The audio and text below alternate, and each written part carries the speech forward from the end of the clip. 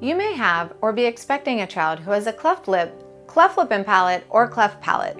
You probably have many questions such as, what is a cleft and what caused it?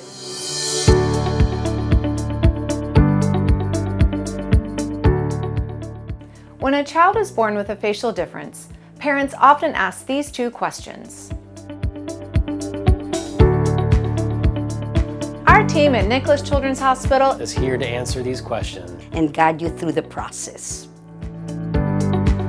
A cleft is an opening.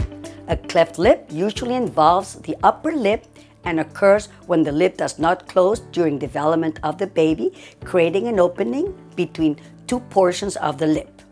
There can be an opening on one side of the lip, which is called a unilateral cleft lip, or on both sides of the lip, which is called a bilateral cleft lip.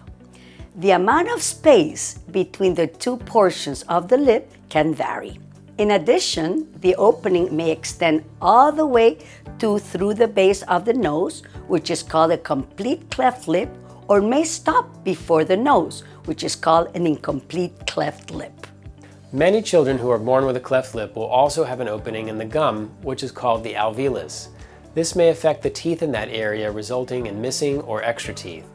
We will not know if the cleft affects the teeth until the child is older. A cleft palate is an opening in the roof of the mouth. The roof of the mouth consists of two parts, the hard palate, which is the hard part of the mouth just behind the teeth, and the soft palate, which is the soft tissue at the back of the mouth, which ends with the uvula. Children can have a cleft palate involving the hard palate only, the soft palate only, or both the hard and soft palate. Cleft palate can come in many different shapes and sizes. Children can have a cleft lip, cleft lip and palate, or cleft palate. Clefts are as unique as the children who have them. Cleft lip with or without cleft palate occurs in approximately 1 in 700 babies, Cleft palate alone occurs in approximately 1 in 1700 babies.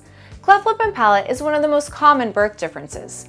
To understand what causes a cleft lip or palate, we need to understand a little bit about how the lip and palate form when a baby is developing during pregnancy. All babies' organs form within the first trimester of pregnancy. Facial development begins with the parts of the baby's face separated on opposite sides.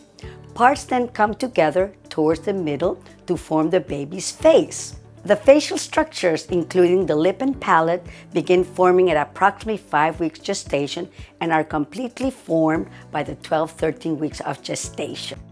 There are many factors that influence the closure of the lip and palate, including genetic factors, the genes that a child inherits from their mother and father, and environmental factors. Most children who are born with a cleft lip and palate have what is called an isolated cleft lip and palate, meaning that it is not due to an underlying genetic condition. Occasionally, a cleft lip and palate or cleft palate alone is caused by exposure to a medication, drug, or virus during the pregnancy. A small percentage of children who are born with a cleft lip and palate have an underlying genetic condition that caused their cleft lip and palate.